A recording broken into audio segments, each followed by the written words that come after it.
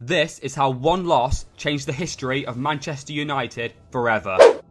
Boxing Day 1963. With 66 goals in 10 games, this match day is comfortably one of the most iconic in English football history. And even though there are many results that stick out, one in particular is the second one down Burnley 6, Manchester United 1. Andy Lochhead's four goals in this game continued Manchester United's poor run of form, now only winning 4 in 11 games. And it's this result that forced manager Matt Busby's hand.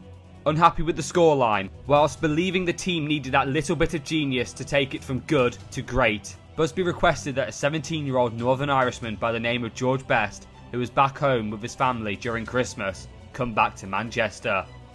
Best had already played one game for United this season in a 1 0 victory over West Brom, but had been left out of the squad ever since. He came back for the very next game, which just so happened to be against Burnley, this time at Old Trafford. Best scored the third goal in the 5 1 victory for United, and he would only miss a handful of games for the remainder of the season. With the Northern Irishman now in the side, Manchester United drastically improved, ending up with a semi final finish in the FA Cup and a second place finish in the league behind Liverpool. Best was now fully integrated into the squad, forming a fantastic trio with Charlton and Law, and the rest, as they say, is history.